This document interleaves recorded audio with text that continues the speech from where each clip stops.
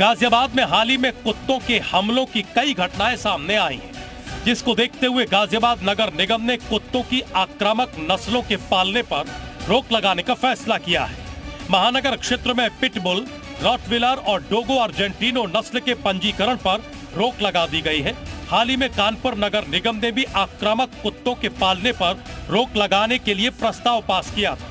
गाजियाबाद नगर निगम के द्वारा, कानपुर नगर निगम द्वारा पास किए गए प्रस्ताव पर काफ़ी समय से विचार किया जा रहा था। वहीं दूसरी तरफ़ शहर में कुछ ऐसे लोग हैं जिन्होंने पहले से पिटबुल रोटविलर और डोगो अर्जेंटिनो नस्ल के कुत्ते पाल रखे हैं। ऐसे तमाम लोगों को दो महीने के अंदर नसबंदी करा के नगर निगम में अपने कुत्तों का पंजीकरण कराना होगा। समय सीमा के भीतर पंजीकरण न कराने पर नगर निगम के द्वारा पाँच हज़ार रूपए का जुर्माना वसूला जाएगा।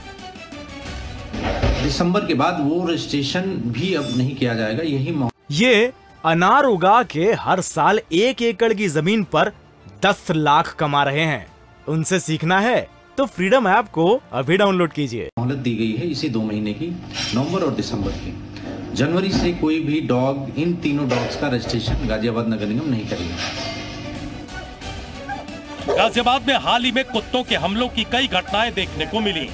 हाल ही में संजय नगर में 10 साल के बच्चे पर पिटबुल के हमले की बात करें तो पिटबुल के हमले के बाद बच्चे को तकरीबन चेहरे पर 150 से ज़्यादा टांके आए थे।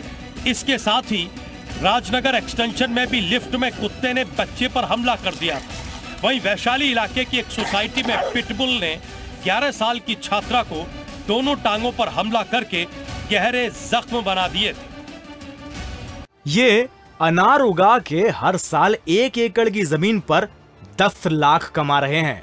उनसे सीखना है तो फ्रीडम ऐप को अभी डाउनलोड कीजिए।